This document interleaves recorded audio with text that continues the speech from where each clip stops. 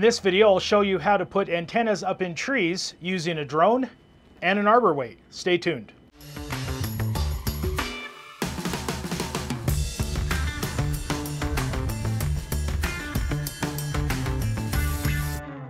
Hello, my name is John Jacobs, W7DBO with the Field Radio Podcast, and thank you for clicking and tuning in. In this video, this is a follow-up to my Field Day 2020 recap, where I talked about and showed using a drone to drop an arbor's weight up and over a tree. Now, there are other methods to do it, including slingshots and potato guns, but really, if you have a drone, uh, this is kind of a fun project to do, and it gives you precision in exactly where you want your line to be deployed for something like a dipole antenna or an end-fed antenna like I did. So let's get started. So the first thing you're going to need is obviously just a drone. Now this is just the Mavic Pro. Uh, there's the newer ones out. And so this is just your, your typical drone and we're going to modify this to be able to drop a payload. So the magic piece with this is this little clip here. It's battery operated and it, it harnesses around the drone and has a, a little tiny actuator here that'll open and close and that'll give us uh, the ability to release a payload. Uh, the other thing you're going to need is, uh, this is a Weaver Arbor's weight. This is actually meant if you throw it up in the tree, uh, it works great for that, but we're using it for this, so uh, it's an Arbor's weight with, with rope, and then a Weaver deploy bag. So all these components uh, I'll put in the descriptions so you can go see what works with your drone. The one I have is specific to the Mavic Pro, but there's other models that are available with that same company.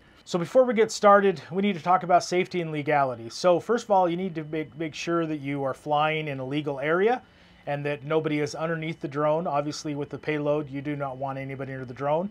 And so you need to make sure you have your drone registered and licensed uh, inside the United States. And depending on your country, you have other requirements. Uh, if you fly a drone professionally like I do, uh, then you get your FAA remote drone certification license uh, that allows you greater areas to fly.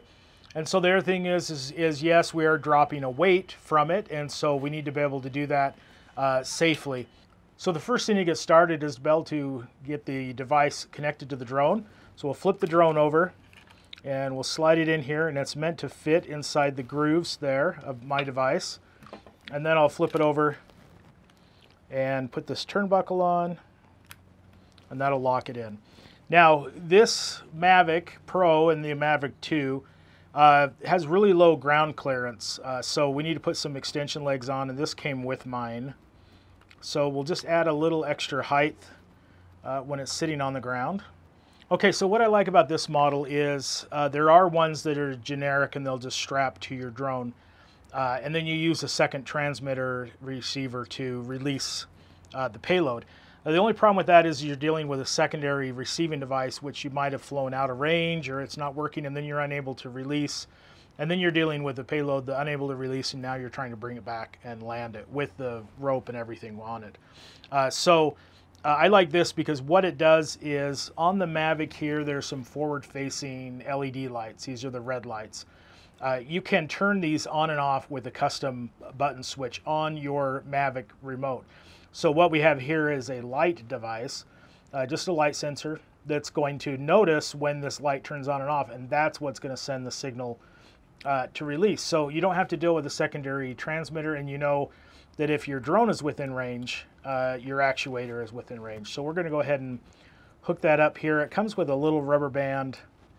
Uh, someday I'll find a little better way to secure this on here than the rubber band, but it seems to work.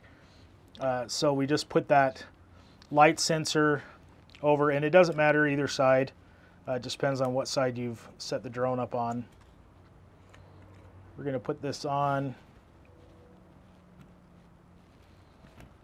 And that just keeps the tension of that uh, light sensor.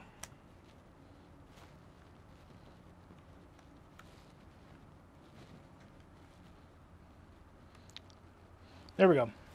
Uh, next step is it comes with a little fastener. So we're going to put that on there. It's good to have just because you do have a cable that's pretty close to your props. Uh, and then it powers on. So this has a little battery inside. Uh, it charges via USB. And so we'll get it turned on and it's ready to go. So uh, the arbor's weight, what I've done here is I have the 12 ounce. Uh, still, that seems like it's pretty heavy. Uh, you could open this up and, and dump some out. Uh, but 12 ounce even works with the Mavic, so it's not that heavy of a payload. But what I did is I gave it just a little bit of extra string length, and then uh, they give you this little ring. And the reason why you need to use this ring is because uh, even the it's so tight in there that you don't want to get snagged that actuator. You don't want it to get snagged and either break your device or not get a, a good clean release. And so I just put a little loop in there and put this on and then that keeps the weight away from the prop and everything and works great. So let's go ahead and turn this on. Okay, so now with the drone turned on, the device turned on, the actuator is open because the light is on. Go ahead and put the ring in, turn off the light, and now it's closed. We've done our pre-flight checklist, and so we are ready to take off. So we'll go out in the yard, and uh, give this a try. Okay, we're all set up. We got the drone and then the weight is set aside in the payout bag. So we'll go ahead and fire up.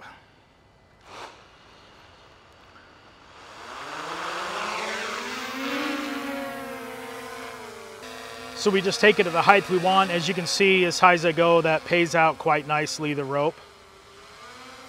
So we'll find a safe spot to drop the line.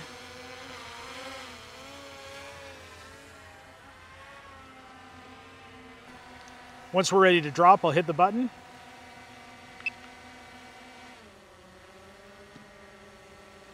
Just like that. We've got a line over the tree now. Now we can pull up the antenna. So to put the line back in the bag, all I do is I just kind of two-hand stuff it. You don't need to kind of roll it or do anything special.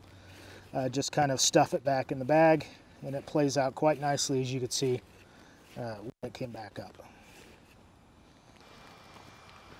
Hope you found this video helpful in learning how to use a drone to be able to get your antennas in the tree. My name is John W7DBO with Field Radio Podcast. Remember, like and subscribe to get notifications of new videos. And with that, I hope to see you on the air. 73.